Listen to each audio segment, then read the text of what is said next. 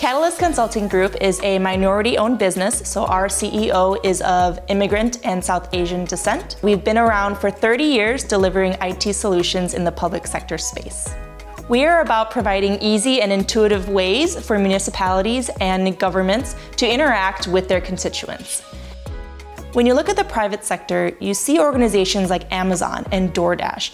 And when you think about your interaction with those organizations, you have an easy way to submit a request or buy a product while keeping you engaged as a customer throughout the entire life cycle. So Catalyst is about empowering those municipalities and governments so that they can deliver the service that those constituents want at the same level that they are getting on a day-to-day -day basis.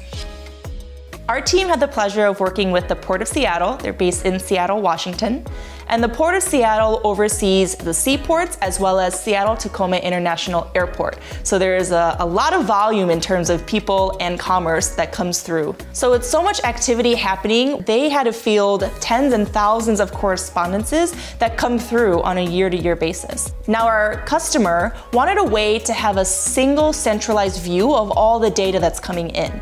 They also wanted the ability to have the public submit these concerns and inquiries and cases through different channels while they're on the go. The solution that we created for our customer is Service Cloud. Um, with Service Cloud, we're able to ingest and house the correspondences and cases that come in from the public so that it can be resolved in an efficient manner.